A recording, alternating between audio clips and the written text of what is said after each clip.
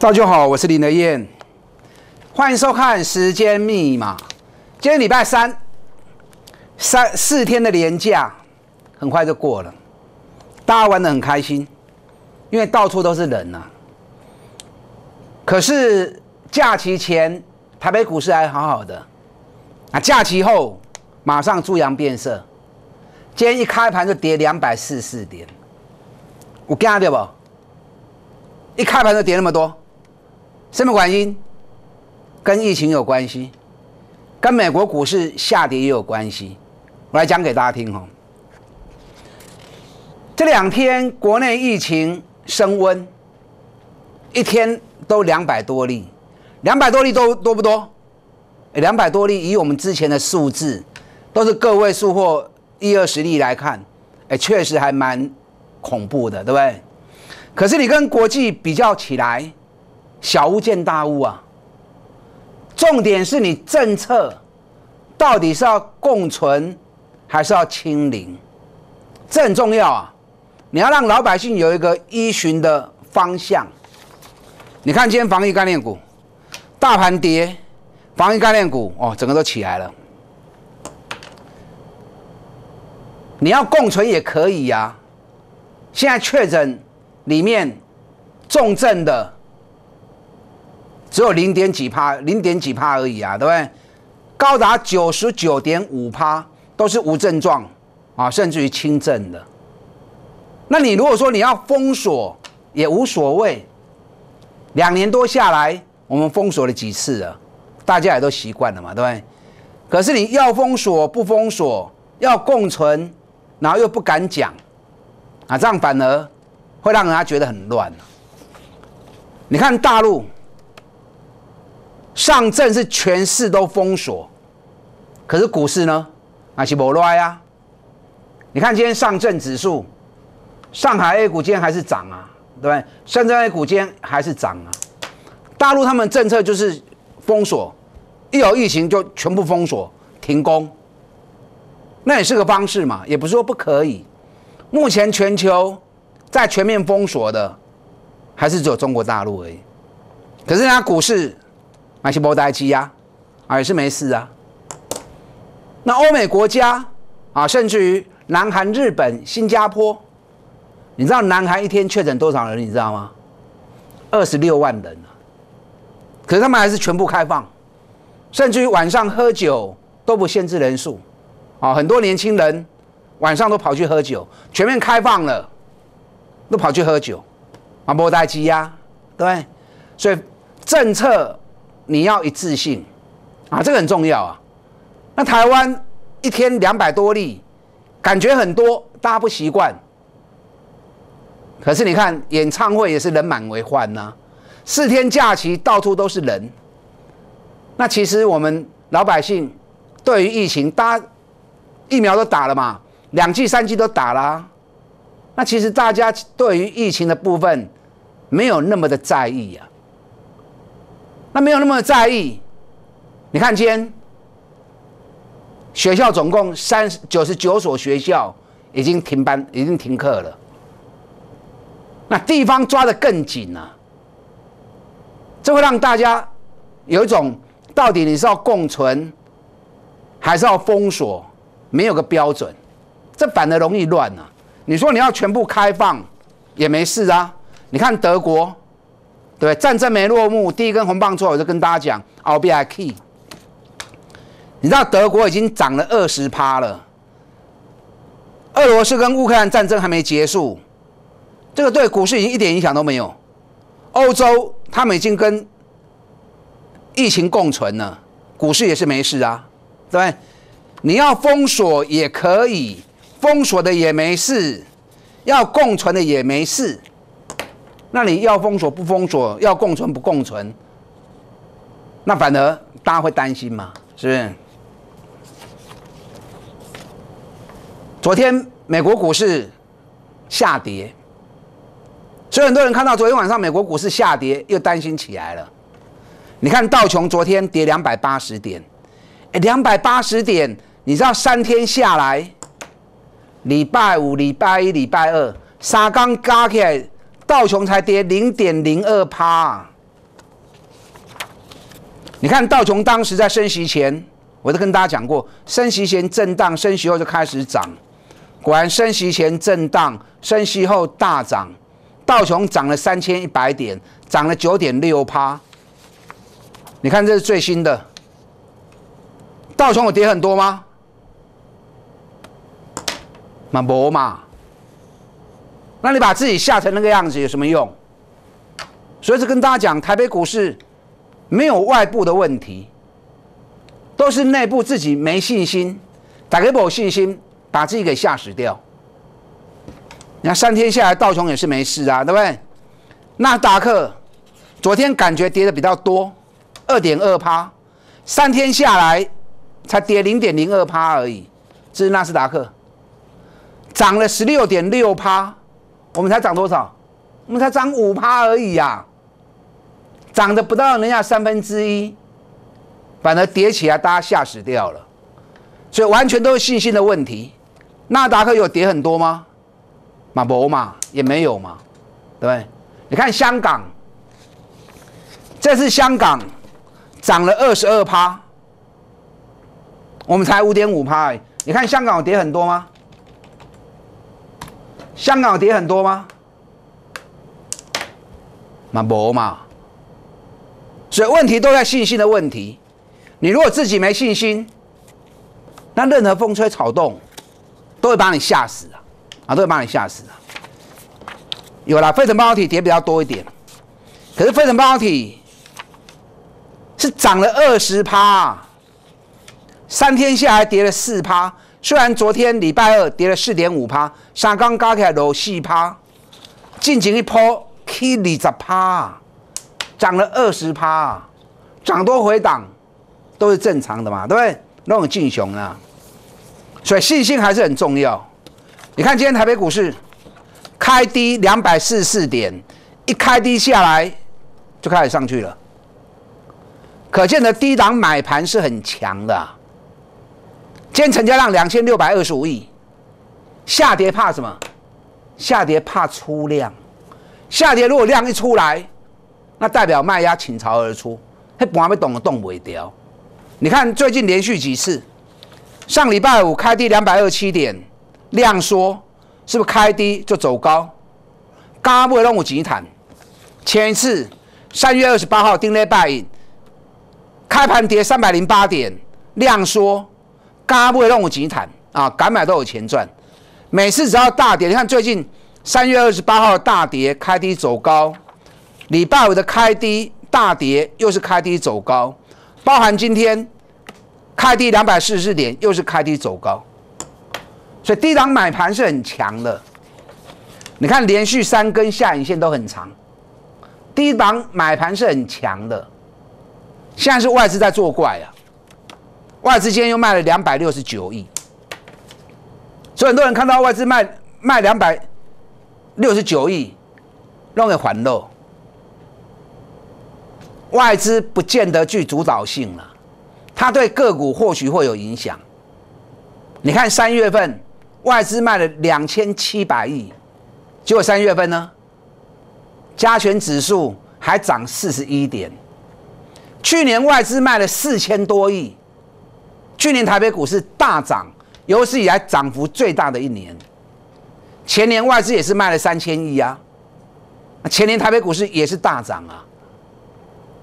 外资买卖超有它的用意，你看哦，外资虽然卖了两百六十九亿，你知道外资台子期净空单原本三万多口，已经补到剩下五千五百八十八口。外资如果看的那么空哦，台子期输赢不是更大，对不对？外资如果看的那么空，他应该怎么样？他应该加码放空台子期嘛，扛入追入后嘛，是不是这样？那怎么会是台子期的空单？上万多口空单已经补到剩下五千五百口，一面打压台股，一面赶快把空单补掉，然后一面又降台股的平等，降很多股票的平等，它用意在哪里？会不会是故意打下来，把你吓死，然后自己从下面下去买？我看那个巨星可能蛮高的哦，才会一边一边卖股票，一边在补空单。现在空单三万多口已经快补完了，已经没播完了。我上班就给大家看过嘛，对不对？台北股市短线会震荡，六可以个爬来年线，有吗？跟我画的是不是一模一样？是不是六可以个爬来年线铺在下面？接下来缺口如果补不掉的话，啊，缺口如果补不掉的话，后边多头一个攻跌还会再攻啊。所以，与其你那么多关心指数，还不如那你就不要看指数嘛，你要针对个股就好啦，是不是？你看今天新复发配息一发布出来，配四点一六现金，股票一点零四元。加起来五块二，去年赚六块四。新复发这家公司我很熟啊，它每年的配息都很高，几乎都把赚的百分之八十九十全部都发给股东，啊，很大方啊。去年赚六点四五，股价四十五点七，本来北比就不高，只有七倍多，然后又配那么多，殖利率十点六趴，所以一发布马上就大涨了。那跟大盘跌有关系吗？所以是不是跟大家讲，你就锁定年报跟高配息有关的股票，跟指数没有关系呀，跟指数没关系呀。那今天开始又要发布三月营收，我今天下午看了很多三月营收发布出来的公司，已经很多家创历史新高了。我盯了百供嘛，我估计三月份至少一百二十家以上。营收会创历史新高，那股价压低下来，如果股价高，单就不能买，对不对？利多早就已经反映了。那股价如果已经很深，本比很低，然后后面营收又会创历史新高，那种股票又抬给的没意义呀。你应该趁它下来的时候，赶快下去承接嘛，对不对？你看中石化，这两天市场都在抢中石化，成交量五十一万张啊。今天上市柜成交张数第一名中石化，但当中占很大的比重。那中石化为什么会涨？赚的虽然不多，每股净值二十一点二元，啊，没撩钱的公司啊，还有赚钱的公司，股价只有净值的将近一半而已。所以这种股票无啥来播，只要买盘一进来，你就有啊。所以是不是跟大家讲，你要找这种底部的股票？可以管的卖一堆，尤其赚大钱的，尤其赚大钱的，高获利、高成长、本比很低、底部的股票，你卖去堆管，找这样股票买，你就放你就放心了嘛，对不对？你就安安心心的嘛。你如果自己还是会怕，来找林和燕拿，来催我，我不会带你追高，我也不会去买投机股。专找赚大钱底部的股票，低本一笔的个股，带你逢低做布局的动作，带你做捡便宜货的动作。今天成交量两千六百二十五亿，电子股五十五趴，航运股十一趴，当然是不够。金融股今天八点一趴，钢铁股二点一趴，钢铁股也不够。今天金融股又起了护盘的作用，尤其是在关股的部分，所以。上礼拜跟大家讲过，外资一直在卖台股，可是政府的立场是要做多的。那因为电子股，政府的股票跟外资没有办法比较嘛，所以外资卖，政府买电子股挡不住，所以从金融股下去拉抬。你看关股的部分，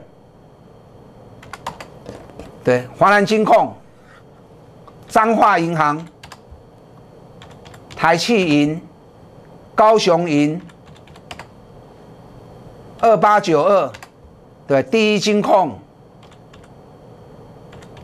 兆丰金控，我不是叫你去买这个啦。坦白说，这些关股已经拉很高了，有的北比都二十几倍，比电子股还高。我要告诉你要从关股身上看到政府做多的企图心，啊，这点很重要。到时候电子股只要一起来，这些银行股你就要小心。这个北比都已经二十几倍了，六 I 四的细科技啊。所以你要从金融股身上看到政府做多的企图啊，给你 T 压够二点一趴，量不够，可是相对抗跌。你看大成钢涨零点三元，上礼拜五大盘也是跌，大成钢涨零点五元。你看美国的钢铁股都已经涨一倍了，不管是美国铝业或美国钢铁，都开始倍啊。大成钢我跟你前有开始讲啊，涨了一波。快三十趴的，我们三月一号、三月二号五十五块钱可以卖出做差价，然后掉下来。我跟大家讲会落第二次底，三月营收有机会再创历史新高，是不是下来了？现在连续几天在四八跟四九这里打底，到时候三月营收发布创新高之后，阿伯有个叮当啊！所以这种股票，你短破或北台，随时拢会叮当。啊，徐秀荣的叮当，不锈钢的族群三月营收，我估计会有很多家创历史新高。最近在发布营收的时候，要特别注意，航股占十一趴，十一趴不够多。今天长隆跌五块，阳明跌三块，万海跌四块。那上礼拜五啊，分别涨三点五、两块钱、一块半。所以上礼拜五涨的啊，今天跌掉。那坦白说。你看长隆最近已经开始守稳了，有没有？阳明最近也开始守稳了。你看今天行情里面，长隆从头到尾才几块钱而已，最高一三五点五，最低一三三，七万张的成交量，行情只有多少？看它能扣银两块钱在里面盘。阳明也是，今天最高一二四点五，最低一二三。一块半的行情，所以低档买盘很强啊！我假期前跟大家讲过，二十一天的修正时间已经结束了啊，时间已经已经结束了，所以随时会有再转强的机会，爱注意。我们从对这波开始讲啊，对不对？阳明、长隆我都有底部开始讲的啊，讲完之后大涨一波，对，前面这一波。也在最低点的时候，啊，在低档的时候开始讲的，两波加起来，弄巧可以一波呀。所以要养成买底部的好习惯，要养成买底部的好习惯，卖去堆管，堆管你又破不掉嘛，对不对？阳明前一波也是啊，八七块钱买的，你看两个波段上来，都有快一倍啊，啊，都有快一倍啊。长隆、阳明，本比都很低，在最近经历完呢，随时都有在攻击的机会，啊，特别注意。所以养成买底部的好习惯，长期你就是大赢家。台积电，外资跟你喊一千，我都跟你讲不会 key 啦。那现在掉下来，外资拼命卖，五百五十我说可以买，你看弹上来六百。我上面跟大家讲过啦，会在这里洗五百七十五到六百这里洗，用化工原料去去怕了的我八七咋个？这两天台积电会考验跳空缺口会不会回补？如果跳空缺口没有回补，后边够行情的哦，后边够行情的哦，啊注意，连电。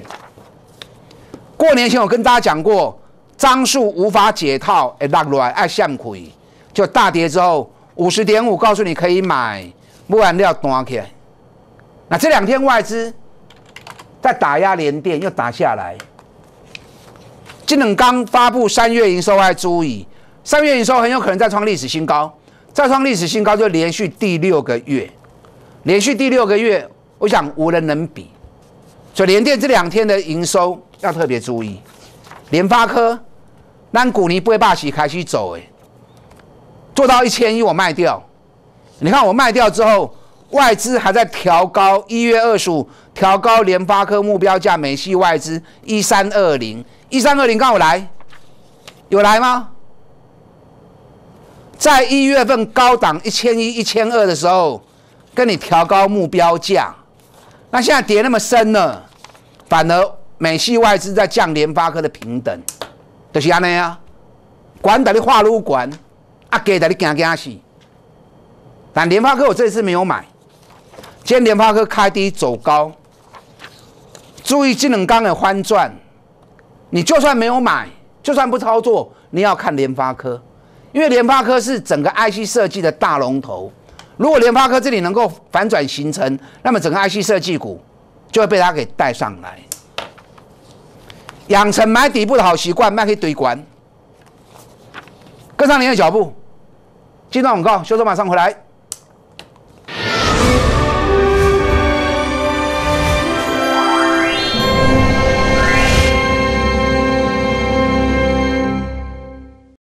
华信林老师二十五年操盘经验，精准掌握国际股市，深入台股产业研究，操作重视基本面，精选高成长公司，配合独创操盘法的量价时间角度趋势转折与循环，掌握底部起涨与高档转折卖出的稳健获利模式，跟着老师的脚步就能迈向财富成长之路。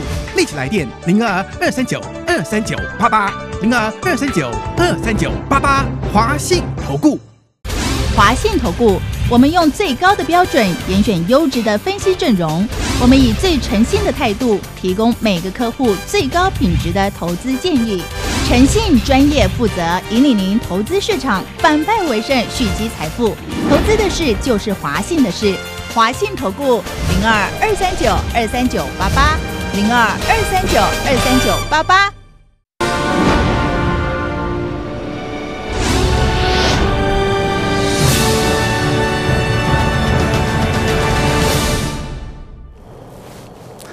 换了在现场，今天开始三月营收陆续发布出来，我估计至少一百二十家以上，三月营收会创历史新高。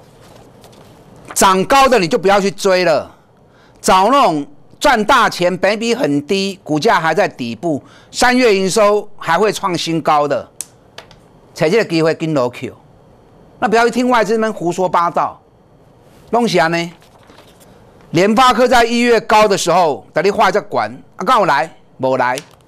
现在跌到九百块钱了，反而它在降平等，就是安尼啊。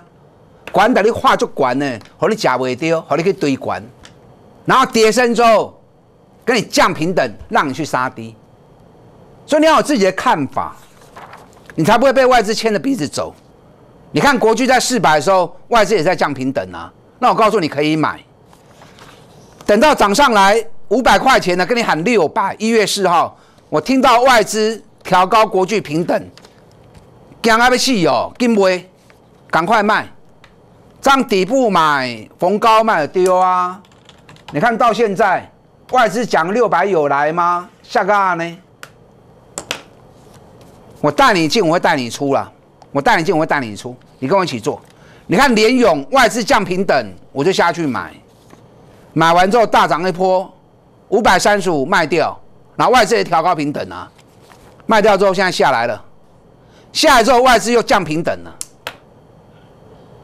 你不要还洗哦，你不要不洗哦，我上一遍给大家看过哈，跌到这里来要注意了，时间周期已经到了，你看这条原本压力线突破变成支撑线，这种线是很强的。指标也在低档区，联勇三月营收应该也会不错。去年获利这么好，本比都这么低，殖利率都这么高，细创也是，本比只有四倍而已。还有很多档没有时间一档一档讲，很多这样股票啊，金专那个股票，你敢低接，营收数据一发布出来创新高，你就准备等着赚钱。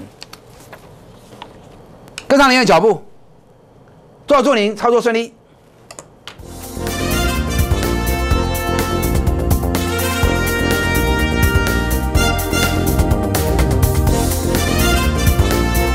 本投资公司与所推荐分期之客也有大证券无不当之财务利益关系，以往之绩效不保证未来获利。本节目资料仅供参考，投资人应独立判断、审慎评估并自负投资风险。